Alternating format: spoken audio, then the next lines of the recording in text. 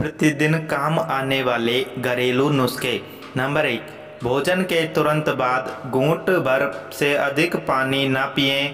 आधे एक घंटे के बाद जी भर के पानी पी सकते हैं। नंबर दो, एक नींबू का रस एक गिलास जल में प्रतिदिन खाली पेट पीने से मोटापा दूर हो जाता है। नंबर तीन गाजर पालक का रस मिलाकर पीना चाहिए। इससे आँखों की कमज़ोरी दूर होती है। नंबर चार, मधुमेह के मरीजों को प्यास अधिक लगती है। अतः बार बार प्यास लगने की अवस्था में नींबू निचोड़कर पीने से प्यास की अधिकता शांत होती है।